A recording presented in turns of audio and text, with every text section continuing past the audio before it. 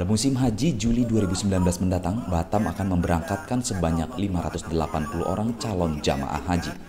Jumlah ini terbilang turun jika dibanding dengan tahun sebelumnya yang mencapai 600-an calon jamaah haji. Untuk setiap kabupaten dan kota di Kepulauan Riau, jumlah pendaftar setiap tahun berbeda-beda. Sedangkan kuota calon haji yang akan diberangkatkan dari Provinsi Kepulauan Riau masih sama dengan tahun lalu dan sesuai dengan kebijakan dari pemerintah Arab Saudi yaitu sebanyak 2.033 calon jamaah haji. Sementara untuk daftar tunggu saat ini diketahui sudah mencapai 8.000 lebih calon jamaah haji. Berdasarkan daftar tunggu tersebut, calon jamaah yang mendaftar di tahun ini akan berangkat pada tahun 2035 mendatang.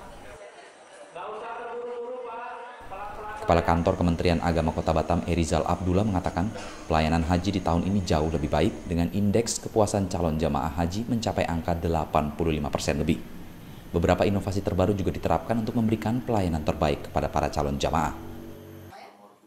Tahun kemarin lebih kurang 600-an jemaah hajinya tahun sekarang tidak sampai 600 lagi sekitar 580 orang itu pun belum kita sisir lagi nanti mana tuh ada yang sakit ada yang cancel dan lain-lain karena dari daerah lain juga mendaftar dan berebut ingin mendapatkan masuk ke porsi pada tahun uh, dan dia akan mengisi satu tahunnya. Sehingga sekarang ini waiting list itu di provinsi saya dengar sudah sampai 2033 jadi uh, karena setiap tahun itu 1200 sudah masuk ke 2033 nih. Nah, berarti sekitar 4000 waiting list yang cepat secara anu, kecepatan daerah lain ada yang lebih cepat sehingga kita dari segi jumlah tahun ini agak turun dari tahun kemarin beberapa puluh orang. Saat ini umat Islam yang berusia 12 tahun sudah bisa ikut masuk daftar tunggu calon jamaah haji.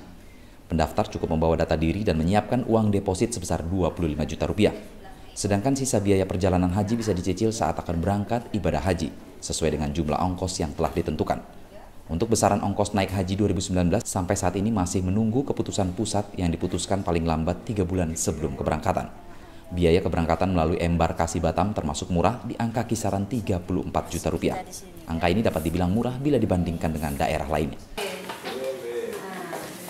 Dari Batam, Kepulauan Riau, Andri Sofyan, Tribrata TV, salam Tribrata.